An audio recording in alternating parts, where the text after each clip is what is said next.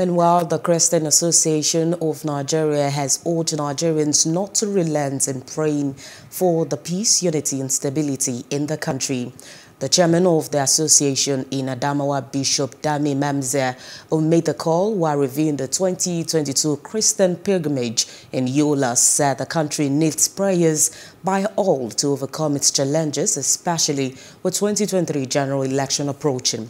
Mamza also called on journalists to do justice while carrying out their duties, as according to him, they play a vital role in the development and peace of the society.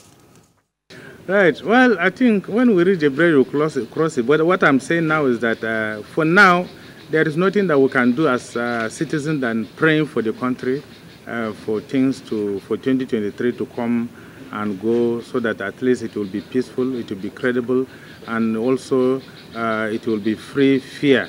I think that is what we are hoping, that is what we are praying.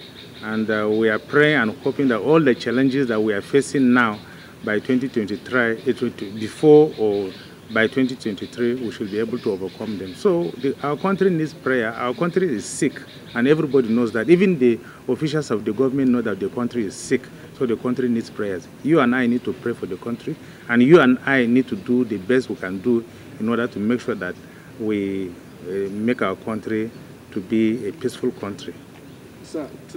Please do subscribe to our YouTube channel and don't forget to hit the notification button so you get notified about fresh news updates.